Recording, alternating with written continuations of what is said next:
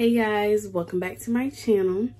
And so in today's video, I'm gonna be telling you guys how to deal with your coworkers in the medical field. So if you're interested in knowing how to deal with coworkers in the medical field, what tips you can use, then stay tuned. F savage bitch. And your trapper take over. Over. Name another bitch that's colder. I just bought a brand new Rover. I don't even drive no more, I got a chauffeur. Took off, man, they asking me to slow up. Getting wiser and my money getting older. And that bitch, I ain't even gonna hold it. And that bitch, and I thought that they told, told it. Okay, you guys. So my name is Denaya. Hi, if you're new, I am a phlebotomist and I work at a hospital. I was also a phlebotomist at the Plasma Center. I was also a dialysis tech in dialysis and now I'm at a hospital again for phlebotomist. And I also worked at a hospital as a patient care tech which is there is a patient transporter. So I have like a good little bit experience in the medical field and I've dealt with so many attitudes so many personalities. It's ridiculous. So I'm about to give you guys my tips. Even though I did have some little outbursts I do feel like I have a bit of an anger problem just a little bit just just a tad bit. Okay i do. I know i do but i'm working on it. Like i'm really working on it. It's been way better than what it was in high school and at the plasma center. It's been way better. So i'm gonna just let you guys know. Nurses some nurses not all nurses are lazy. So when you're working in the medical field and you want to work with nurses not all of them are lazy. Some are really good nurses They'll do anything for their patient. They're up and running. They're energized. They're all that. But then some nurses, like at my job, play heads up, talk about who's better, Beyonce or Ciara. Um, ignore their patients or cut off their patients' call bell. To deal with these, you just want to ignore them.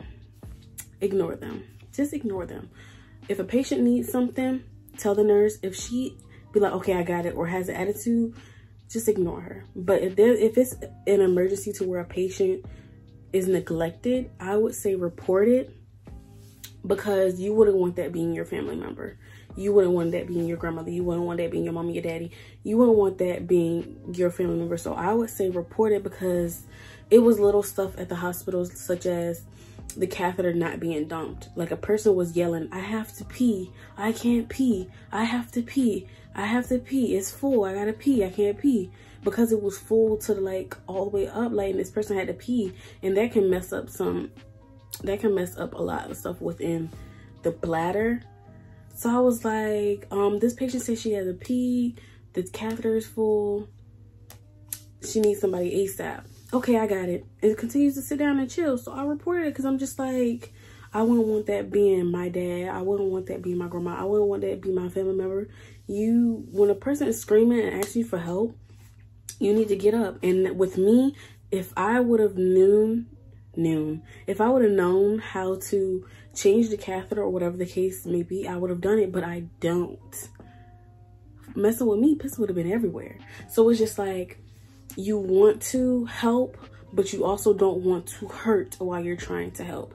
So if you're in the medical field and somebody needs help and you can't help them, I would say tell the nurse. And if the nurse doesn't want to do anything, I would say report that nurse. Because what else can you do? I don't like hearing people cry and begging for help and nobody said, I don't like that noise. Like it makes me upset. It makes me, um, I, I get really, I'm really, I'm, I'm a real emotional, real sassy, feisty person. Very emotional and feisty a lot. Yeah, very. So it's like a lot of things will get me teary-eyed. A lot of things will get me upset. And a lot of things will get me mad as well. Like such as neglecting the patients. Like how you gonna call me a phlebotomist saying, okay, so at one time I came in at 1 p.m. Once I came in, the nurse called me oh, this patient been bleeding internally since last night and I still never got their lab draws, which was due last night. First of all, so you're telling me last night, this morning, and until now, which is one o'clock, your patient's been bleeding internally and you haven't tried to stuck them or nurses haven't tried to stick them or anybody else to stick them, nobody tried to stick them. I was like, okay, well, I'm on my way. I just got in. That's exactly how I said it. Um, so you're telling me that your patient's been bleeding internally since last night and you didn't attempt to stick them? Neither did any other nurse that know how to draw blood. Don't worry about it. I'm on my way. That's that's the cute, nice, nasty that I did right there. Because it's just like, I'm not going to just not get the blood. But it's just like how you let your plate, knowing your patient is bleeding internally and you not draw the blood. Or have somebody else draw the blood or whatever. Like how, how is that even possible? How? I just don't know how. So you just have to ignore some of the nurses because it's just like, they will get on your nerves. They will pluck your nerves, but not all the nurses are horrible nurses. I've met a lot of good nurses, a lot of good nurses, like wonderful nurses. So I can't sit here and say all nurses are bad or watch out for all nurses because that's not true. A lot, there's a lot of good nurses. Actually, the good outweighs the bad, but it's just a handful of bad nurses that make you be like, oh, you y'all ain't shit. Like which is bad, but not all nurses are are like that. Not all nurses are lazy, nasty, rude, neglectful. Not all of them are like that. So, how to deal with nagging coworkers. You want to know what I do? You see how this hair cover it up like that? And then this me typing in my stuff. because you don't want to get fed into their nagging and nag with them. And then next thing you know your boss or supervisor it comes up and be like oh so i heard you and such and such had a problem about da da da da da da. So i just want to know your input da da da da. Because a lot of coworkers fuss and complain about certain things to each other to the point where eventually somebody's gonna go up to the boss or whatever and be like oh, well, such and such said this and da da da da da da da da da. Next thing you know, you're in the office. I would just ignore them. That's what I've been doing. The only thing that I've been, who I've been nagging about to, who I've been ranting to is y'all in my vlogs. And that's telling y'all the good, the bad, realistic, all that stuff. So I would talk to y'all, but to them, I'm just like a quiet person. I don't talk unless they make me mad. Then that's the only time they really see me react. I mean, of course they see me laugh, smile, da da da da. But if they're like doing stupid stuff like, okay, so I'm gonna tell you where it's a situation where I handled very, very badly. You should never do. I had received a tube that clotted. So the co-worker came up to me and was like, hey, this tube is clotted. Mind you, he has the tube. He has it open, which means he has the top the top of the tube. Where's my tubes? He has like the tube and then the top of the tube in this hand, blood. And then he he has the like this little stick thing and he's mixing. He's like, see, this tube is clotted. This tube is clotted. He was putting it in my face. I said, you don't lost your motherfucking mind. I said, you don't have no gloves on. You have an open tube and you're sticking clotted blood on a stick in my face. I said, you have lost your fucking mind. I suggest you get that out my face before we have an even bigger problem. Now that wasn't a nice nasty that I did. That was a real nasty because what he did was real nasty. How you gonna put a, how you, how you gonna put clotted blood in my face? I could have smacked that out his hand like, for, like how you, how you, how you even comfortable doing that without gloves? I don't care how long you've been doing it how of an expert you are, how you nasty, just net. He got to cuss out, but don't be like me, cause you can get depending on where you are, what time, who's working, which boss is there, which manager, which manager is there. I could have got fired, but nobody was there. It was just me and him face to face. It could have been bow to bow, like what he did was nasty. So if I would have got fired, he should got some consequences as well. Because first of all, he's dealing with blood with no gloves. He put it in my face. That's that's a call for ass whooping. I'm sorry, but don't do that. Don't don't don't do that. I should have just walked away. But it was just like the audacity. But anyways, um, so to I would just ignore nagging co-workers by putting in the AirPod. If you can't put in the AirPod, I would say walk away from the conversation be like, okay, I don't want to talk about that, or I don't feel comfortable talking about that, or just simply walk away. Like, just walk away. Soon enough, they'll get the picture and they'll notice that they're talking to themselves and they're going to be like, hmm, I don't have nobody to complain to. Hmm, I don't have nobody to nag to. Hmm, I'm going to just shut up. And they will just shut up. Trust me. Trust me. So how to deal with trainees. Trainees is not a problem for me. Honestly, I like the trainees. I like training. I honestly like training, but the only thing I don't like doing when training is trying to help somebody and they're telling and they're trying to tell you how to do your job, but they don't know how to do their job. That's why you're training them. Especially if they call you for help. That's what I don't like. Other than that, trainees, they don't really aggravate me. They don't bother me. They're learning like I was learning, still learning.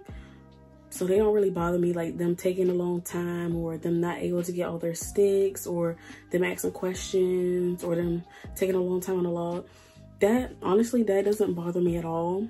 As long as you try do I mean by all means ask questions because you want to ask questions. You don't want to just, oh, I'm asking too many questions. I don't want to ask them this because then you will never know. That's not how you learn.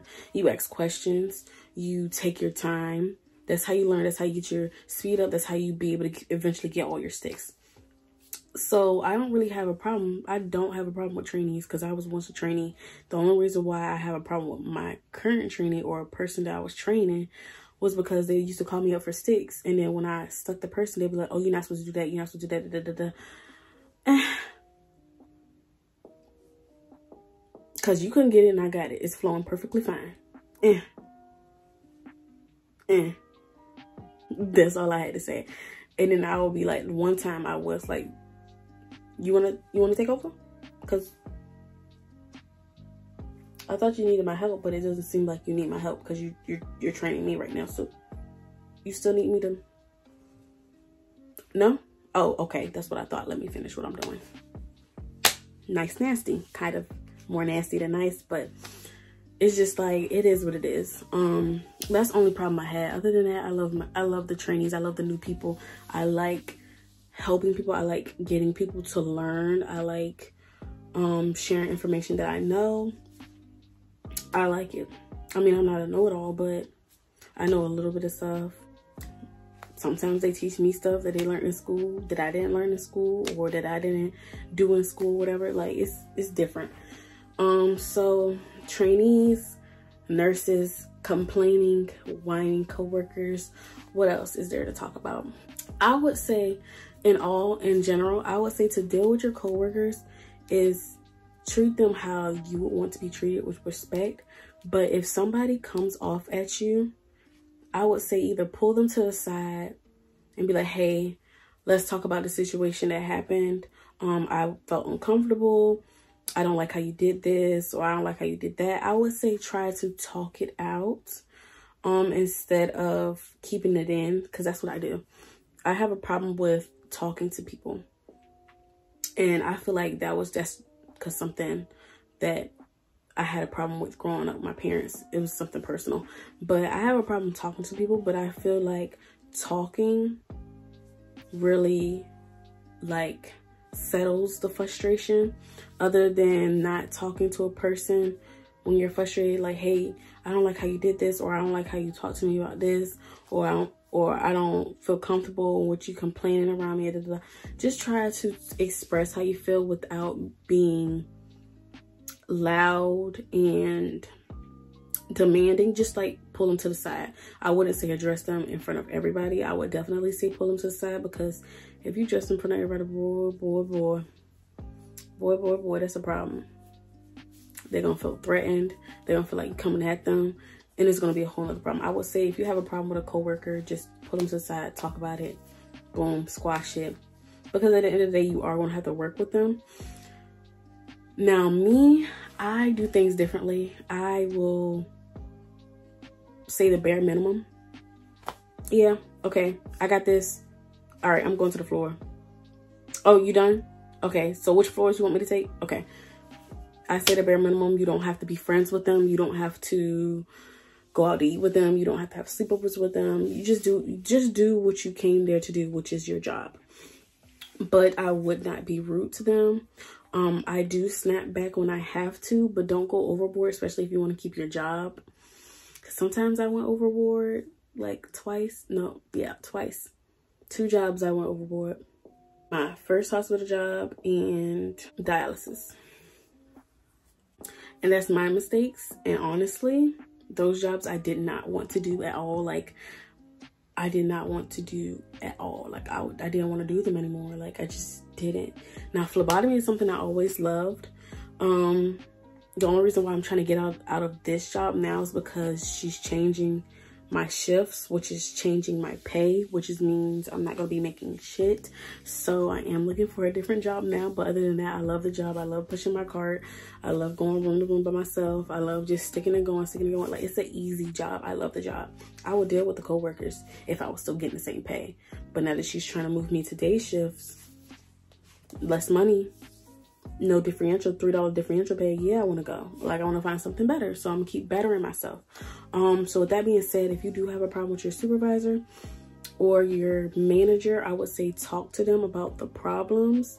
Um, if you can't talk to them or if they're rude and nasty to you, I would say go above them. And if that doesn't work, go to HR and then go up the ladder. If you have a problem, go up the ladder. Talk to your supervisor. If she's nasty or whatever, talk to a person above her if it doesn't work, talk to the person above them.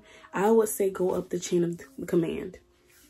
Because if you just go straight to the command, then they're going to be like, well, did you do this, this, this, this?